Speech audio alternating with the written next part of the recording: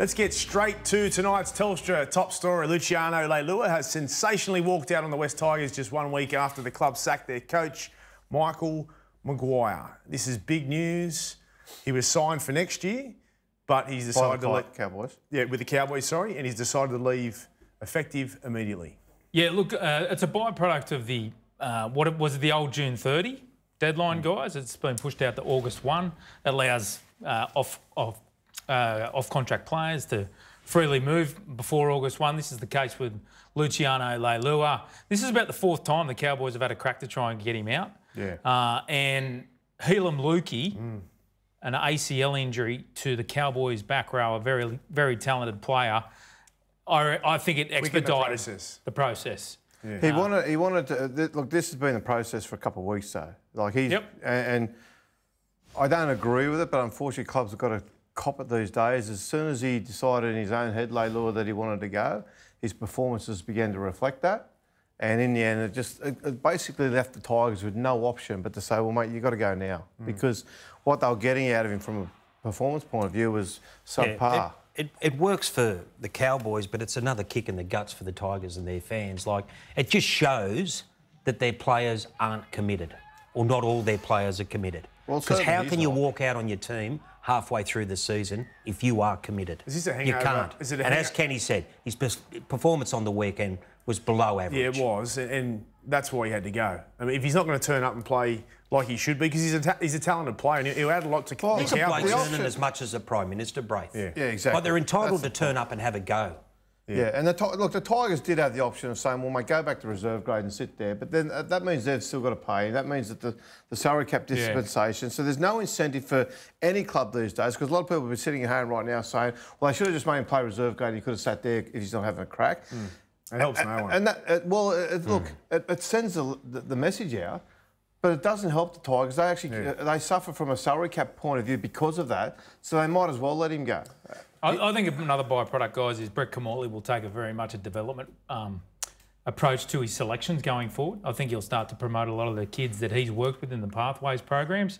And knowing that Leilua is not a part of the club next year, uh, he'll start to pick a few of the younger and kids. And Sheens will be fostering that as well yep. because that's what he, he, this is a really good opportunity now for the Tigers to actually sit down, have a look at what they got, let a couple of blokes put their toe in the water, figure out whether you know, they're going to make it, how mm. close or how far away they are at the at this point in time, and then that'll help them just shape next year's mm. roster by, by having a look at these guys. Well, that's uh, Tim Sheens on the show said that they're going to look to the future now, which doesn't do Kimmorley any favours with his job for the rest of the season if they're looking uh, too far ahead, or that well, they have to. He's already on record, Braith, as saying he hoped he could do show something in the next yeah. ten games. Ooh that would convince the club to keep him on. Surely Sheensy's got his mind made up in which direction he wants to go by the fact that they've got Ciraldo out there and they're showing him around the club. And he said to us the other night that he wants to have a coach in place sooner rather than later, so they're ready to hit the, the ground Is running. part of the Maguire exodus? There was a, a rumour, you know, I think Gus Gould even said that six players, around six players, may leave and follow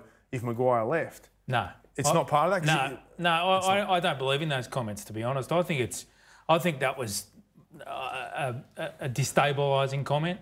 Uh, for a shot over the bow at, at one mm. one club going through some turmoil equally to theirs to, to take the focus off the dogs, uh, and there might have been some management, uh, some man managers uh, playing in the background there, okay. suggesting that maybe they can get a player out. Nothing is ever as it seems. In That's right, right. Amazing. I'm, I'm, actually shocked by those I don't believe that is anything to do with an exodus to the point where Tigers fans need to know that they didn't they haven't completely, they, sorry, they didn't roll over completely here. They did attempt to do a swap at one point with Leilua for Reece Robson, okay. the very talented dummy half at the Cowboys. Didn't eventuate. Good luck with that. Yeah, it didn't eventuate, yeah. yeah. We can see the wisdom of Cowboys saying no to that. Can't yeah, absolutely. Yeah. But also, they've got Appy coming there next year. Like, yeah. why would Robson leave? Hmm. No, exactly. Cool. Yeah. Spot on. But it does strengthen the Cowboys now. It is a good signing with Luki out with the ACL, like you mentioned. Leilua coming in, although he'd been underperforming the last couple of weeks, we know how good he can play. So it, it's, it, it strengthens their premiership credentials now, the North Queensland Cowboys. Yeah, well, and they don't need it. Like, they're going so good. Like, they've got the second best defence in the competition. They're so dangerous all over the park. They've got speed. They've got good experienced half. The hooker is playing out of his skin. Mm. And they're just they're in this competition up to their ears. And one of the things with this August 1 deadline now, which is a month later, essentially, than the June 30, it, it gives clubs four more weeks closer to the finals to really pick their their, their, their trouble spots. Mm. And, and, you're only a month out the, from the finals by then. I don't agree with I think August 1's too late in the season. I think when they brought it in first way back was around the COVID time and all the rest of it. And there's all sorts of reasons why it was a good idea. I, I think it's too late in the season. It wasn't now. an issue until Luki injured himself on the weekend, was it really? Yeah, but we, they, we were, saw that they last, were overstacked yeah, with back rolls. Yeah, but we saw last year the teams, as they got around August 1, really went out and identified where they were a little bit skinny depth-wise, mm. and they and they really cherry-picked Well, Tevita Pangai Jr. is a perfect case last go. year from the Broncos to the Panthers. Mm. Yep and goes and plays a, a, role in that premiership winning side. Yeah, and it's too late. They, they, they, need to bring it back again. We've got the Ciraldo Cup this week. The Dogs taking on the Tigers. Do we are we any closer to a decision there? We talk about it every night. Is Ciraldo any closer to any decision anywhere? Certainly, my information is that there's no deci- decision imminent at all. Um, I think Ciraldo will take his time with it, assess both clubs. Uh, I'm not convinced he even goes to another club. I